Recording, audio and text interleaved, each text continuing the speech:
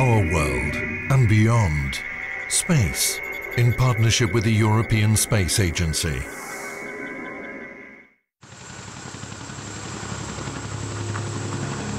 Europe's newest spacecraft is readied for a crucial test off the coast of Sardinia. It's an experimental vehicle. We are experimenting things in all kind of ways. It's an experiment that will test the machine to its limits. One of the most difficult things um, in space business is re-entering uh, the atmosphere. Each step of the way, the spacecraft will be watched and analyzed. These tests that we're going to perform in these days is uh, very important to, to make sure that we have a robust design to withstand the last phases of the mission. A mission that ends in splashdown. And it's something that Europe has never done before, and so it, it is a very challenging project.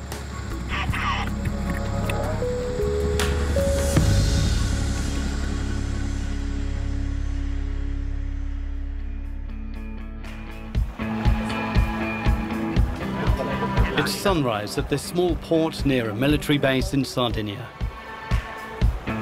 On board are Italian soldiers and a handful of anxious space engineers. They're about to test a new spacecraft known as the IXV, or Intermediate Experimental Vehicle. Today, it will be dropped into the Mediterranean. So we're ready to go. Uh, weather conditions seem to be perfect today, so we are really all pushing to perform the test this morning. The plan is to go out now and free the field, so to be sure that nobody is in the test range on the seaside. So we will free the, the, the ground, and uh, then the helicopter should uh, go and uh, pick up the prototype, should fly over the area, reach a certain point at 3,000 meters altitude, um, drop the, the, the, the, system and perform the test.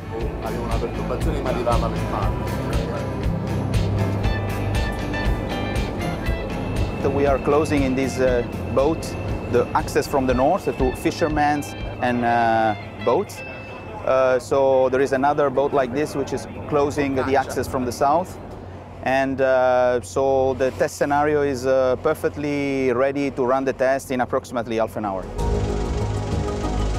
Nearby, the IXV is readied for action. A lot of ambition is riding on this prototype as it represents a new chapter in spaceflight technology for the European Space Agency. The idea is to have an affordable small spacecraft that can enter near-Earth orbit and then land in a targeted zone on Earth. Today is just one step in development. In 2014, the IXV will be launched into space and then re-enter the atmosphere.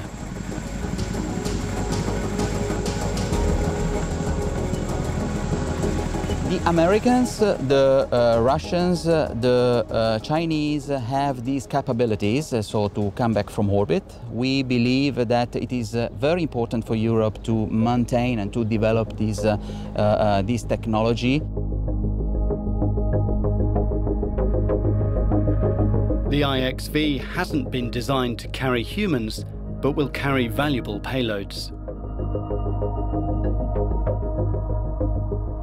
One could imagine one day in which we will uh, go to orbit, operate in orbit, even with future generation of satellites for possible refueling, for uh, um, uh, high altitude and atmospheric uh, research, uh, for uh, monitoring, for disaster monitoring. So we can we can have several civil applications that could be beneficial for for the space sector.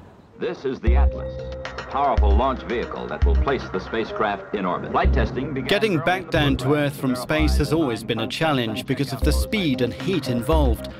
In the early days, Soviet and American engineers developed capsules with a broad, almost flat underside.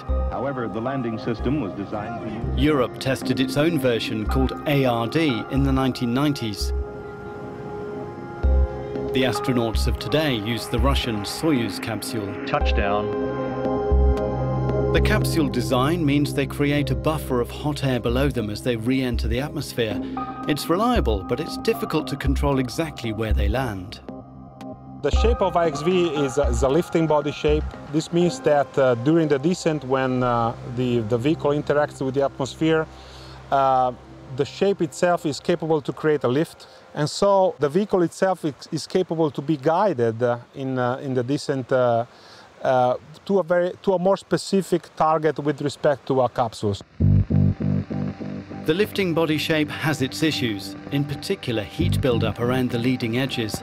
NASA's shuttle used heat-resistant black tiles on the nose and underside.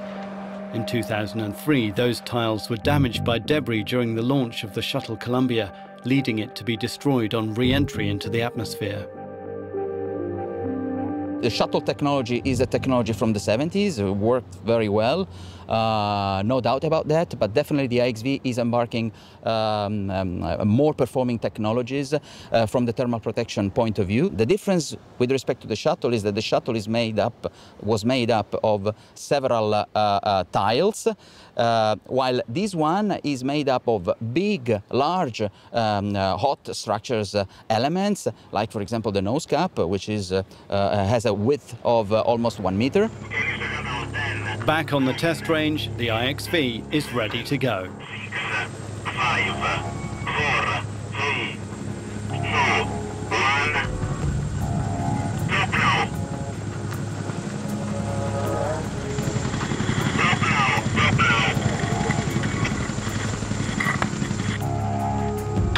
All eyes are on the parachute system, the panels that eject mid-flight and the balloons that should inflate on splashdown.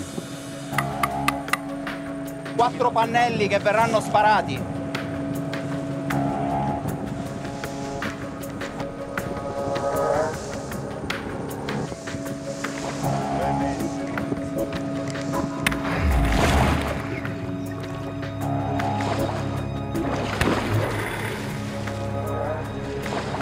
Mark, you see the balloons? Yeah, collapsing. Oh no, I cannot see balloons, no. Shoots right over the object. Splashdown, and from the headland, Roberto hears that something is wrong.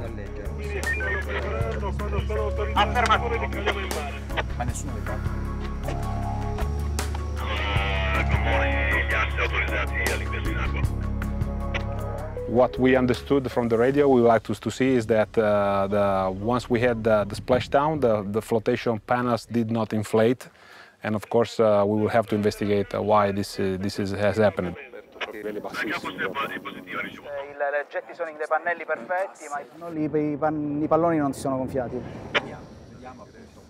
Boh.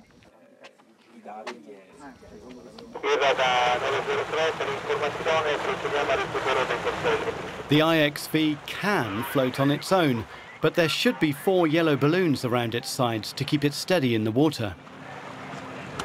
I could be more happy,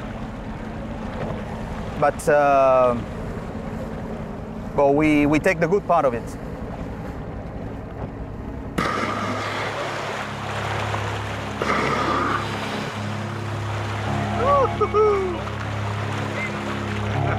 Two of the balloons suddenly inflate, triggered by the divers climbing around the IXV.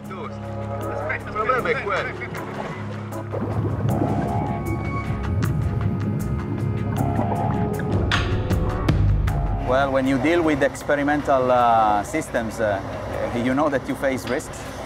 So honestly, uh, in all, uh, probably what we achieved is not so bad. I mean, let's say it's not perfect, but it's not so bad.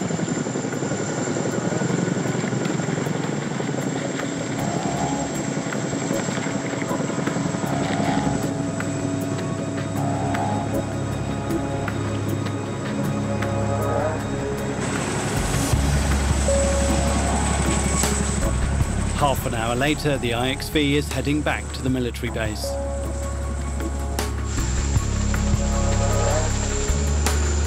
Both Giorgio and Roberto think the balloons didn't inflate because the setting for the sensors that detect the impact with the water was too high. So splashdown was quite simply a little too gentle.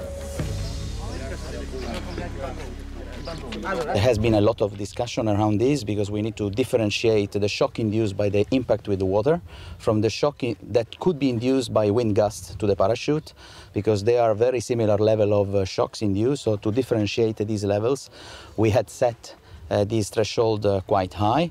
And while my impression, my visual impression of the what happened was really that the, the, the landing was very soft because the parachute is really working fine. So probably the, the impact loads were much lower than what we expected. A post-test review confirmed the splashdown was indeed softer than predicted. We demonstrated what we wanted to demonstrate. So free fall uh, condition initially, you see the parachute compartment uh, where we had the extraction of the parachute system.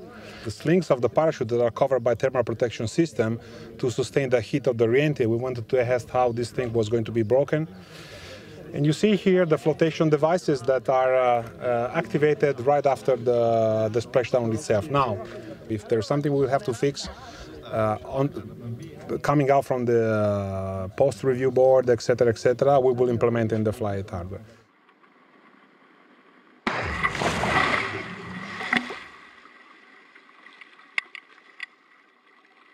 On the negative side, there is the fact that we didn't inflate the balloons, but on the positive side, there is that uh, our space segment is, uh, is, uh, is, is more robust.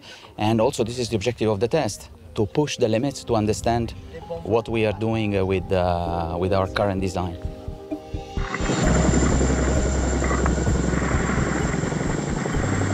Today's test is just one chapter in the story of the IXV. Next year, it'll make a full return journey from space.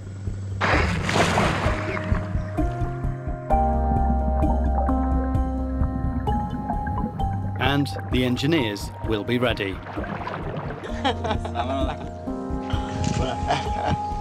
Più vicino al pallone. Adesso, boom. Boom.